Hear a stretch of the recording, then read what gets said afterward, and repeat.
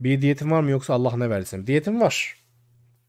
Sabah e, 50 gram peynir, bir tane haşlanmış yumurta, yanında sınırsız domates salatalık, yanında 3 tane ceviz, 2 dilim esmer ekmek.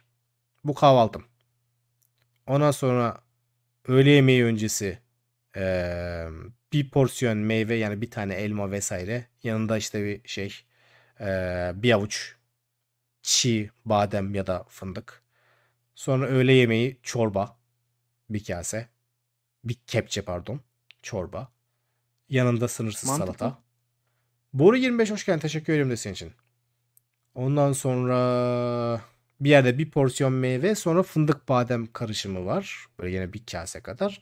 Sonra akşam yemeğinde protein 100 gram et.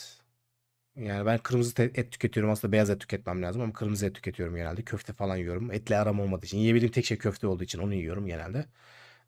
ya da sebze yeme işte. O şekilde.